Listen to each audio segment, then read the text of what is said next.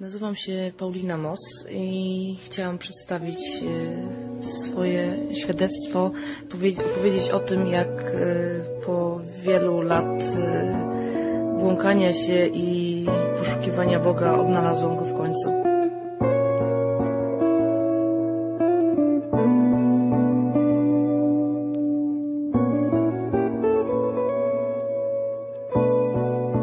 Szukałeś mnie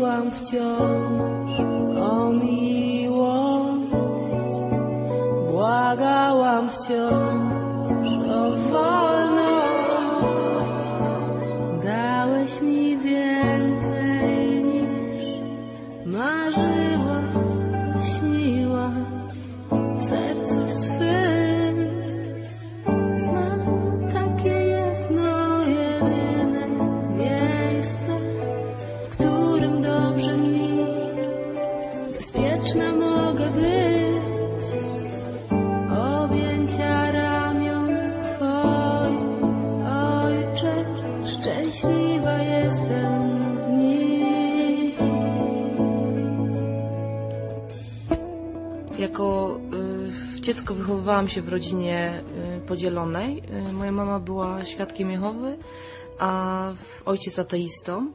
I mama dosyć naciskała na nas, także chodziliśmy na zebrania i jako jedenastoletnia dziewczynka wzięłam chrzest w tej organizacji, co e, pamiętam, że wtedy jedyne co czułam, że chciałam się oddać Bogu, chociaż robiłam to po części troszeczkę nieświadomie, bo, bo nawet e, nie pamiętam, czy przeczytałam jakąś część Biblii.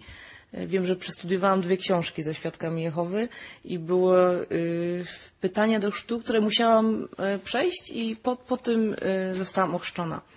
Po dwóch y, latach y, już byłam, zaczęłam taką być dorastającą nastolatką, bo te dwa lata były dosyć takie gorliwe w, w organizacji.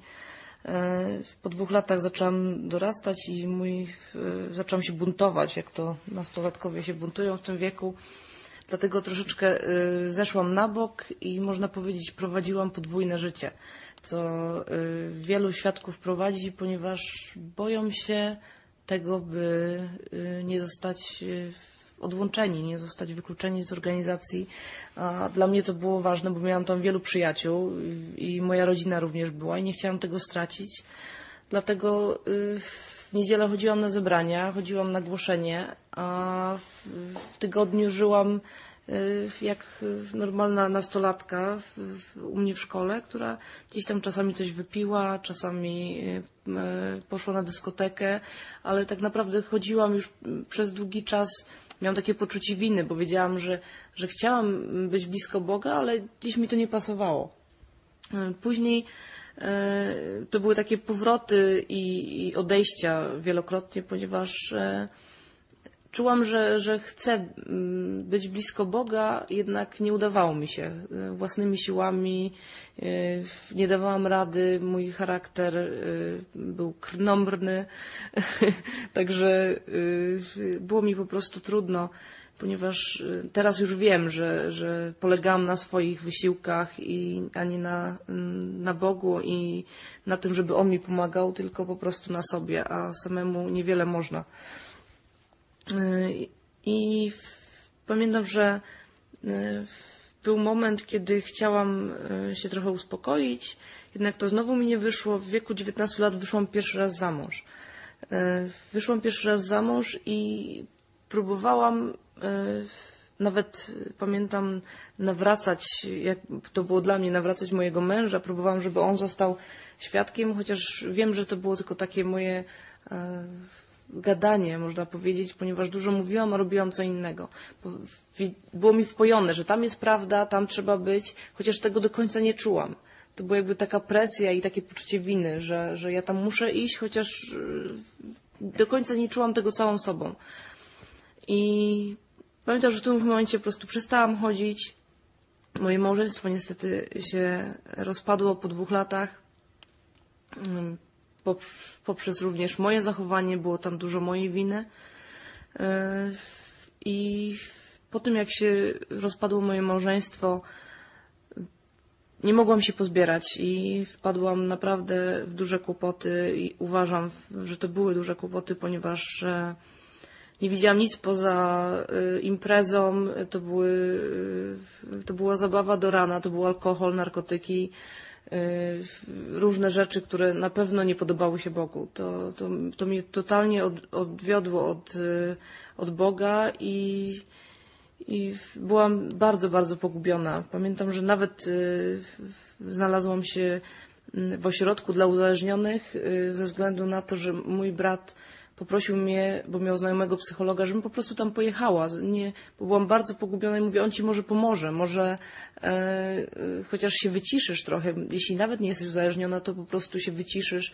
Pamiętam, że pomogło mi to na pół roku. Także tu jakby ludzkie starania za, zawodzą, że starałam się, chciałam, jednak pół roku udało mi się być spokojnym, e, spokojną, bez alkoholu, bez niczego i po pół roku e, znów wpadłam e, w taki wir e, zabawy i nic innego się nie liczyło, tylko zabawa, alkohol. Przy tym byłam bardzo, bardzo nieszczęśliwa i, i w, po pierwszym rozpadzie małżeństwa i nie wiedziałam, co mam ze sobą robić, także błąkałam się w tym świecie. Którymś momencie za- brakowało mi na jedzenie, brakowało mi pieniędzy i znajomi wyjeżdżali do w Skandynawii. Zabrałam się z nimi do Norwegii i tam y, bardzo się cieszę. Teraz wiem, że to, że to był jakiś cel w tym, żebym ja tam y, się pojawiła, ponieważ y, tam spotkałam swojego męża, który mi y, bardzo pomógł, bo jest bardzo takim spokojnym człowiekiem. I pamiętam, że jak zaszłam w ciążę y, i braliśmy ślub, to powiedziałam do niego, że ja teraz wiem, ja już nie chcę szaleństwa, nie chcę y, zabawy, teraz wiem, że ja chcę z powrotem do Boga i, i bo mi brakuje tego, bo ja nie potrafię bez tego żyć. Słuchasz Next Generation.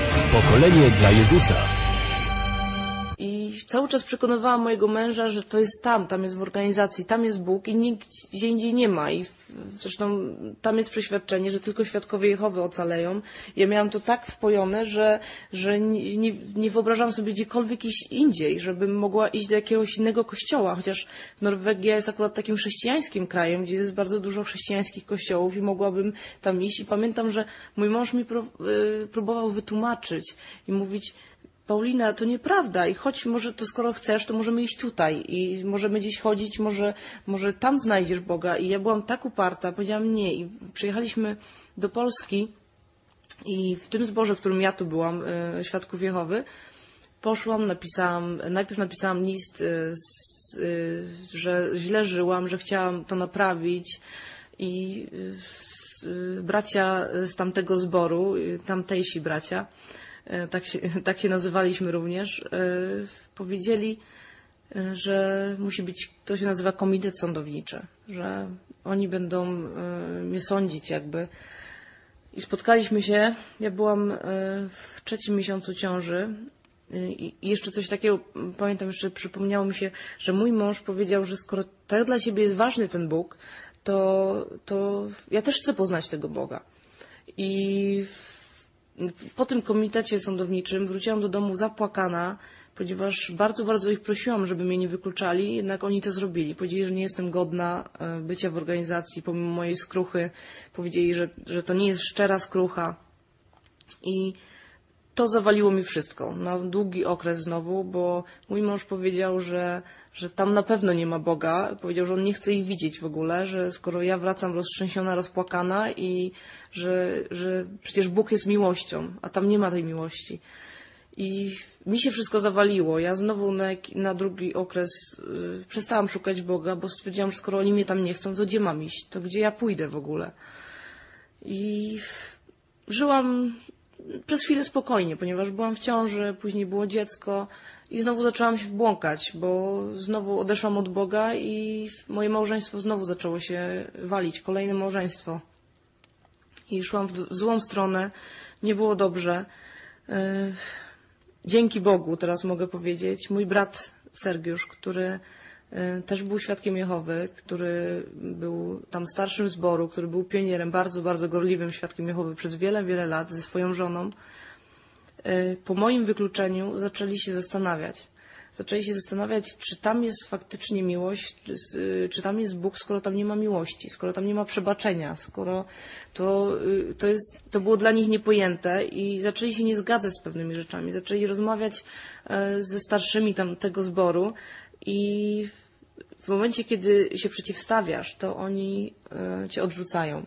Nie możesz mieć swojego zdania i Sergiusz zaczął po prostu odrzucił wszelkie. e, Ja też go akurat e, przyjechał też do Norwegii, tam z rodziną i tam mieszkali i tam zaczął odrzucił jakby wszystkie książki i strażnice, które są przez organizacje wydawane i zaczął czytać tylko Pismo Święte.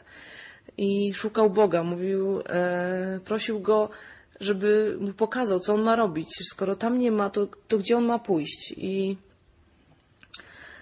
e, któregoś momentu, kiedy e, Sergiusz e, prosił Boga, to Pan go dotknął i, i w, przez długi okres płakał i wiedział, że, że to, nie, to nie tędy droga, że to nie tam, że, że jedyną drogą, jaką, jaka jest do Boga, to jest Jezus. I, I wtedy, jak on mi mówił to przez telefon, bo ja już mieszkałam w Polsce, my już przyjechaliśmy do Polski, jak to się stało z moim bratem.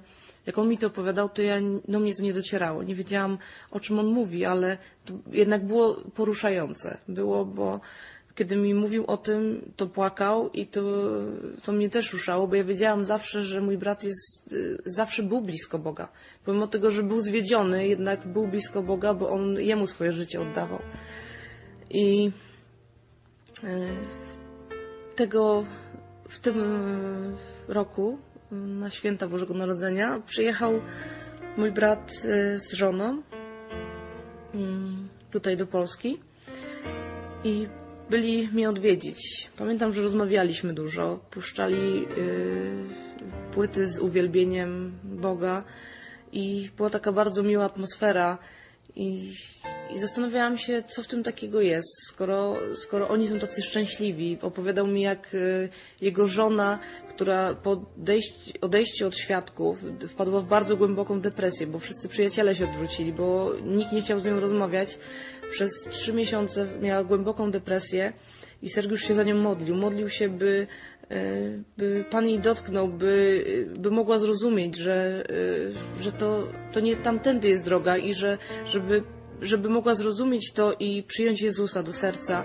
I po trzech miesiącach, kiedy Sergiusz przyszedł z pracy, i zastała w drzwiach uśmiechnięta i powiedziała mu, że się zakochała w Jezusie Chrystusie, że i wtedy on, on wiedział, że, że, że Pan ją dotknął i są naprawdę bardzo szczęśliwi. Jak to zobaczyłam, to się zastanawiałam, co w tym takiego jest i chciałam to sama przeżyć. I Sergiusz tutaj modlił się za mną, powiedział mi, że wystarczy, że, że przyjmę ofiarę Jezusa i się do Niego zwrócę, że to nie jest takie trudne, że zwrócę się do Niego, że wierzę w Niego i, i, i, i dalej On mnie poprowadzi. To y, na początku było dla mnie takie nie do uwierzenia, bo przecież u świadków wszystko było takie skomplikowane.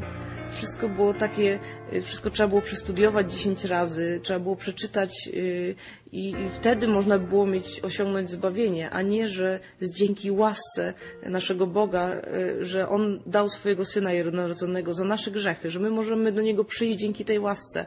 To, to było dla mnie takie niepojęte.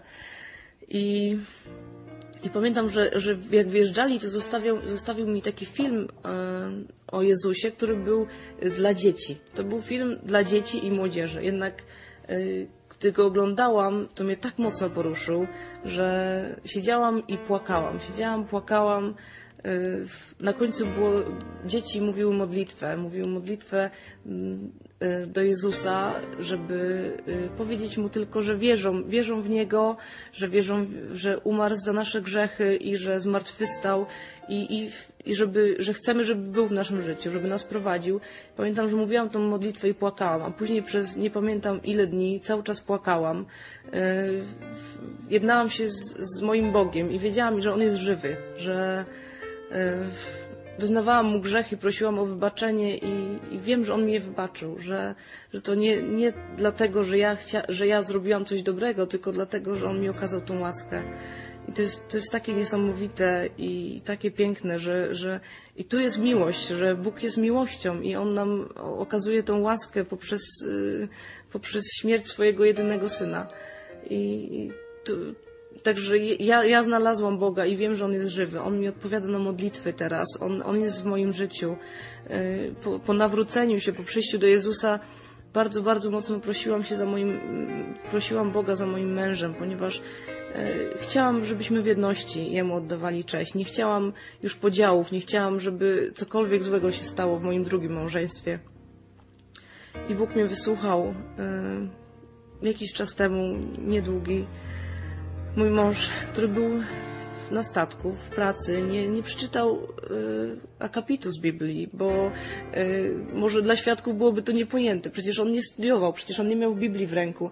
Jednak y, Pan przyszedł do niego i go dotknął. To on się zwrócił do, do, do Jezusa i prosił go o przebaczenie jego grzechów. To on się pojednał z nim, a teraz mówi do mnie przez telefon, że, że jest taki szczęśliwy, że ma taki pokój w sercu, że, że on wie, że teraz chce, że, że chce żyć dla Boga i jestem najszczęśliwszą e, naprawdę teraz osobą, że, że mogę żyć w jedności z Bogiem, że, że Go odnalazłam i chciałabym, może jeśli, jeśli ktoś usłyszy to ze świadków lub z byłych świadków, to chciałabym coś takiego przekazać, co e, myślę jest takie bardzo ważne dla nich, że że na tym się nie kończy, że jeśli nawet czują, że, ta, to nie, że tam coś się dzieje, że, że to nie jest tak, że, że zostaną zgłodzeni, żeby po prostu y, nie mówię tu o jakimkolwiek kościele. Ja akurat w tym momencie uczęszczam do kościoła zielonoświątkowego, ponieważ w Świdnicy jest to y, akurat jedyny taki kościół chrześcijański, w którym się dobrze czuję. Chociaż y, zachęcam po prostu do tego, żeby szukać Boga, żeby się zwrócić do, do Niego w modlitwie i żeby, żeby Jego przyjąć, żeby uznać Jezusa za jedynego Zbawiciela e, i, i wtedy prosić o prowadzenie. I myślę, że, że wiem to, nie myślę i wierzę w to, że, że Bóg e, poprowadzi i tak samo jak mnie poprowadził mojego brata i moją bratowę, bratową. Także y, po prostu zachęcam do tego, bo wiem, że, że można spotkać tego żywego Boga.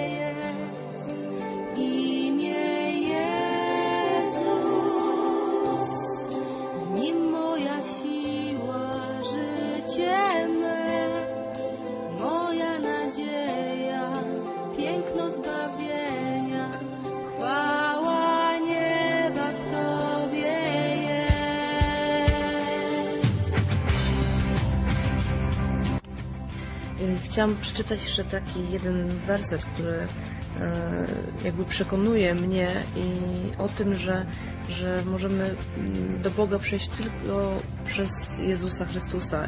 To jest Ewangelia Jana, 14 rozdział, 6 wier- werset. Odpowiedział mu Jezus, ja jestem drogą i prawdą i żywot.